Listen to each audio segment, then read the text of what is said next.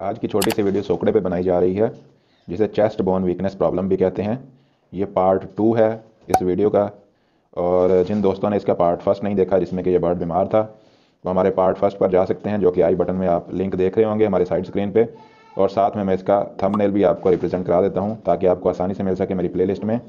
Playlist में आप जाकर हमारे प्रॉब्लम्स एंड सोल्यूशन वाली प्लेलिस्ट खोलेंगे तो उसमें आपको इसका पहला पार्ट मिल जाएगा। जिसमें यह बर्ड काफ़ी बीमार था और इसको चेस्ट बोन वीकनेस प्रॉब्लम थी, यानी कि जिसे आम जबान में सोकड़ा भी कहा जाता है। ये एक आम प्रॉब्लम है जो कि हर किसी के लॉट में आती है और ये सीज़न चेंज होने की वजह से आती है। तो इस सोकड़े पे बहुत सी वीडियोस पहले भी मौजूद हैं, लेकिन मैं आपका टाइम वेस्ट नहीं करना चाहता, क्योंकि ये मैं पार्ट टू लेके आया हूँ। बहुत से लोग जो कि सोकड़े पे वीडियोस बनाते हैं, वो काफ़ी मुश्किल मेडिसिन बताते हैं और उसको हल करना और सोकड़े का इलाज करना काफ़ी मुश्किल हो जाता है हमारे नए फैंसियर्स के लिए। तो और बहुत सी ऐसी वीडियोज़ भी आपको इंटरनेट पर मिल जाएँगी। जो कि सिर्फ़ आपको मेडिसिन ही बताते हैं और उसका आफ्टर रिज़ल्ट जो होता है आपके बर्ड पे वो नहीं दिखाया जाता। तो इधर पार्ट टू बनाने का मकसद यही है कि आप लोगों का टाइम वेस्ट नहीं किया जाए और आपको बिफोर और आफ्टर दोनों का रिज़ल्ट दिखाया जाए। बिफोर पे मैंने पहले वीडियो बनाई हुई है जिसमें ये बर्ड बिल्कुल वीक हुआ पड़ा था और आफ्टर का रिज़ल्ट आपके सामने है जना यही बर्ड उसमें मौजूद था। इस बर्ड को सोखड़ा हो चुका हुआ था और हमने इसके ऊपर मेडिसन इस्तेमाल की जो कि ईजी टू यूज़ है और आसानी से किसी भी बर्ड शॉप से मिल जाती है। या वेटरनरी शॉप से मिल जाती है। ये आफ्टर मेडिसिन रिज़ल्ट है जो कि उसी बर्ड पे फिल्माया जा रहा है जिस पे पहला पार्ट हमने बनाया हुआ है। तो जैसा कि आप देख रहे हैं कि मेरा बर्ड बिल्कुल हेल्दी और एक्टिव है।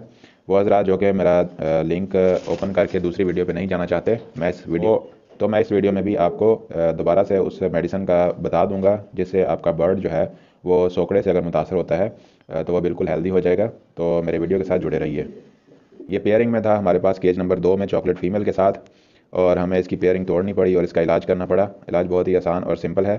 आ, मैं आपको दोबारा से बताया चलता हूँ कि आपने टोनी ट्रायर नामी मेडिसन इस्तेमाल करनी है। मैं साइड स्क्रीन पे आपको राइट डाउन भी करके दिखा देता हूँ। टोनी ट्रायर नामी मेडिसन है। वो आपने इस्तेमाल करनी है तीन दिन।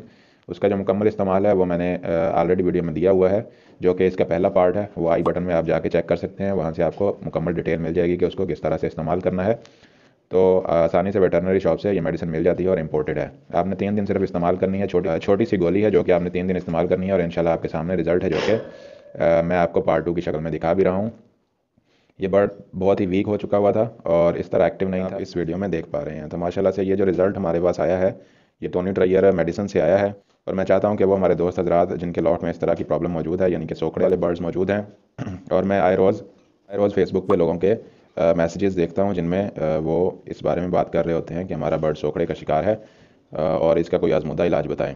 तो इस इलाज को मैंने आजमुदा बनाने के लिए इस वीडियो को दो पार्ट्स में डिवाइड किया ताकि आपको यकीन हो सके कि मैंने जो बर्ड्स पे जो मेडिसन, कि मैंने अपने बर्ड पे जो मेडिसिन इस्तेमाल की है, उसका रिज़ल्ट मेडिसिन के बाद क्या है और ये आपके सामने मौजूद है।